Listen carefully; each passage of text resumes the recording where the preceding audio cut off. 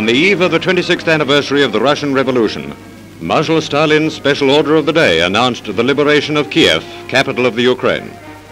By a bold bypassing attack, the first Ukrainian army carried the city by assault and thus ended its more than two years of German occupation. Breaking through the one-time white walls of Kiev, Russian troops entered a blazing and ruined city. In an act of desperation, the retreating Germans indulged in an orgy of destruction.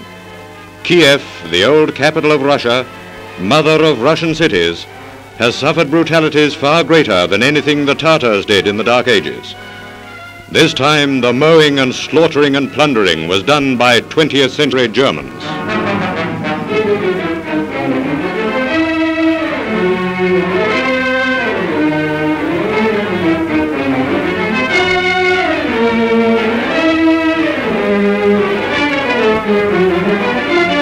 People driven from the center of the city and forbidden to return to their homes under penalty of death begin to trickle back now that the threat is removed.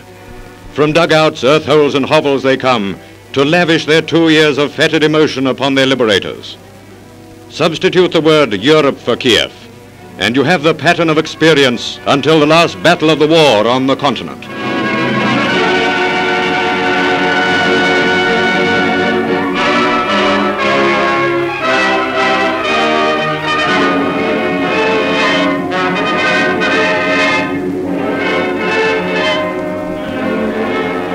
The Germans took Kiev three months after the invasion of the USSR.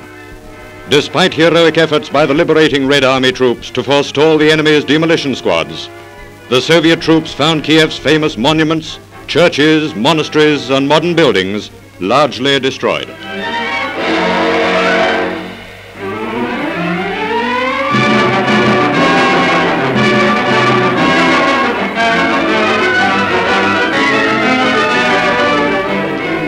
Russian dispatches tell how, up to the very last moment, German squads were rushing through the city with petrol bottles, setting light to everything possible.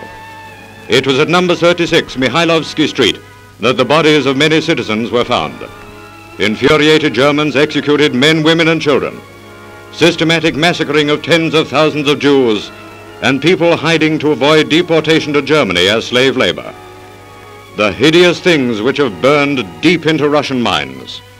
By their deeds have the Germans fashioned their own destruction.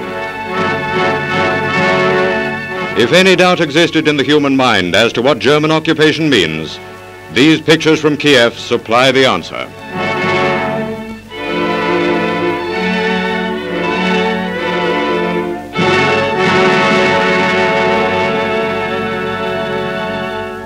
Everything of any value was sent to Germany. Even metal utensils such as you see here were collected for melting down. The master race has been at work. For two years, the place has been bled dry. No wonder that every trace of their loathsome presence is obliterated by angry men.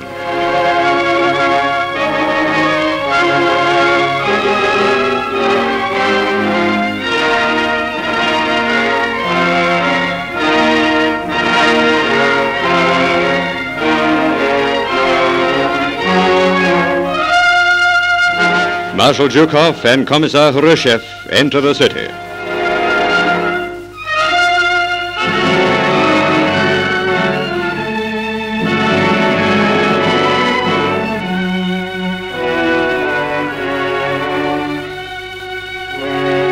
Kiev, the third largest city in the Soviet Union, has come out of the torture chamber and lives again.